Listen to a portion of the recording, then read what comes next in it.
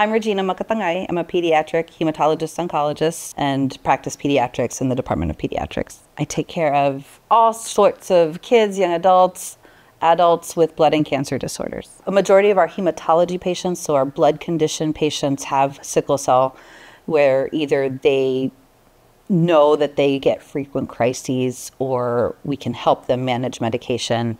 We see a lot of iron deficiency anemia. We'll see some unique blood conditions.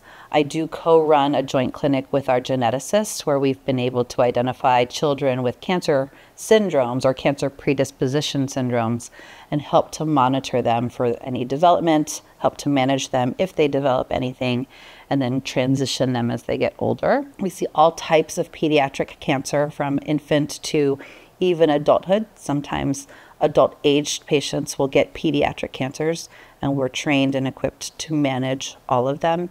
And any of these other unique characteristics that come up with blood, a lot of times bleeding conditions, people bruise easily, or they develop blood clots we help to manage all of those. I love that in PT Monk we build lifelong, continuous, and intricate relationships. We oftentimes get to see these patients at their very worst and their caregivers at their very bottom, and then support them so that when we see them when they're well again, it's the most miraculous, joyous occasion.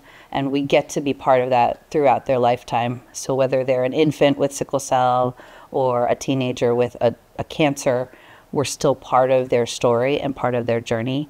And I was never one to not want the follow up. I'm very nosy, and this field lets me do all of that and still develop relationships with a lot of different people. The best part is just the hugs and knowing that no matter if it's the best day of their life or the worst day of their life, I can do my best to help them and make that part of their day a little bit better.